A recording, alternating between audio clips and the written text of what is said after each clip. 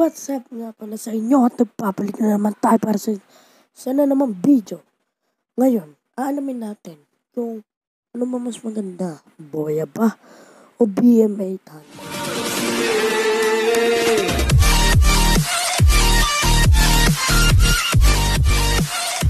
Itong gamit ko ngayon.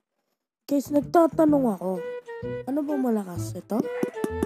Itong pinagsasalita ko o ito? Hello? Hello? Sa kabila. Hello? Hello? Hello? Ito pala mas malakas. Kaya pala nagtataka ako bakit ang hina ng boses ko pag chinecheck ko siya. So, nag-iisip ako ng content. Yun.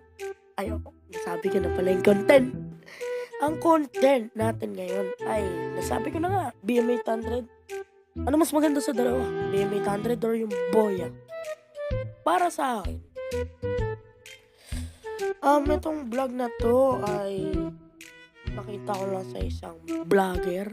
Jack lang. Stupid motherfucker sasabihin lasing gago!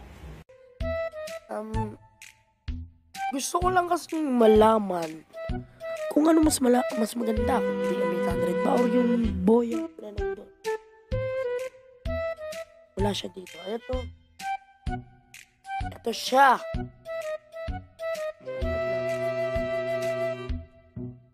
Ito. Yan. Itong boya na to. So, itong boya na to ay binili ko siya 1,500. So, it's 1,500.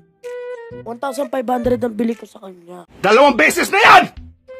Um, yung 1,500 na yun, 2,000 sana yon. Eh, yung 1,000 ko, eh, hindi sapat para mabili yung boya na yon. Yung pinakita ko sa inyo. So, ang ginawa, nung nakay kuya, pinahiram niya muna sa akin yung pera niyang 1,000 din. Yung binigay ng lolo namin. Pero matagal na yun, mga 8, 2018 or 19, I don't know. Basta, yung nabili ko yan, 1.5. Tapos itong mic, itong mic na to, ano na, tawag dito? Um, itong mic na to nasa 400 yata. Tapos itong microphones, ay, mic stand, ay nasa 500. Sorry, at nakat yung video. Um, para sa akin siguro mas mahal yung boya. Maliit na nga siya. Mahal pa. So, etong mic, mas mura pa kaysa do sa boya na pagkamahal-mahal. 1.5 ang putik. So, guys, um, merong bala, may balang araw putik. Um, tag dito, meron akong isang i-upload na video na yung setup tour ko. So, aking setup tour ay hindi ko pa siya nare-record. Inuna ko muna to. So, nag-record na rin ako ng video ng Minecraft nung Thursday. I think Thursday yata yung natatanda ko pa. Yung putik. Yung ano, yung setup tour saka ko na siya i-record. Mas uunahin ko to.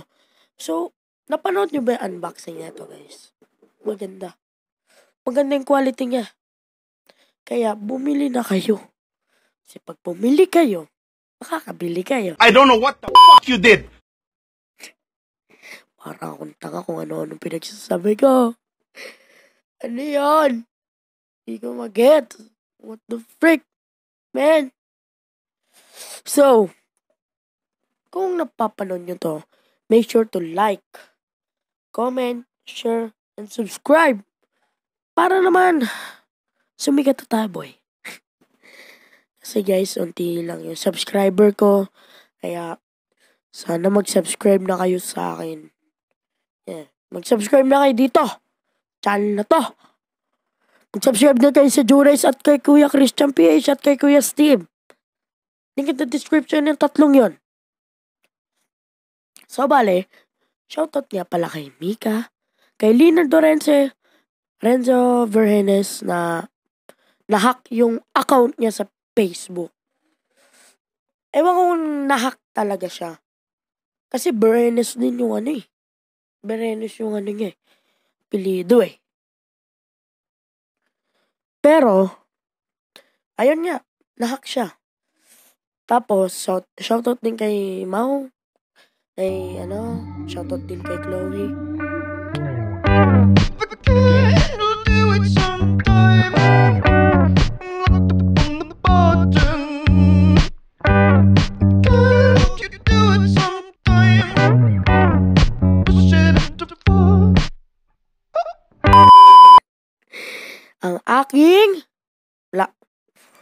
Ba yan? Nakat na naman yung video. Nakakainis.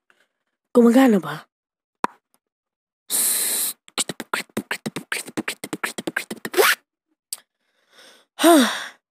Ito guys, yung pang headset to. Kasi yung mic ng headset, nagtataka ako ba't hindi gumagana.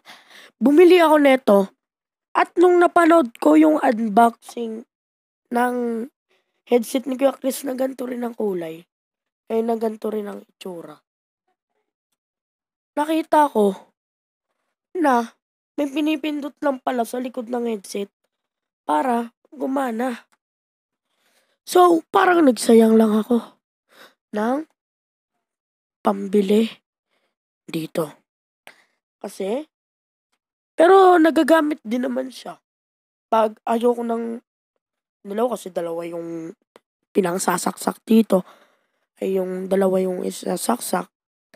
Pag ayaw mo siyang nakakalat ng dalawa yung saksak, mas ma- maganda rin yun. Maganda rin. Promise. Di ako nagbibiro. I'm not joking or I'm not comedian. Ang init guys. Ba't kaya? RP pala, sorry. RP pala. Sorry. Sorry naman, sorry. Napapaisip ako. Kasi, ang BM800, mura lang. Ang boyang, mahal-mahal. Mas maliit pa yung boya kaysa dito sa BM800.